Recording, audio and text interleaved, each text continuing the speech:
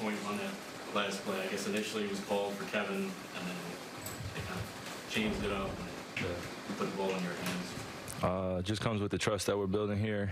Uh, Jacque had a play call that we were about to go execute, and uh, me and Kay had some dialogue, and we decided to run the play for me. Uh, you know, good matchup versus Fred. Uh, and just got the just got the better of him that one time. You know, uh, who would have thought that I'd come into Toronto, hit my first game winner buzzer beater of my NBA career. So, um, you know, pray that there's more in the future. But I'm glad that we got this win. Kyrie, what is it about those situations like, because you've done it throughout your career, that you're so comfortable with? I, I, I think that's the thing. Uh, I'm not really comfortable. I just want to be great in those situations, and I failed more than I've succeeded.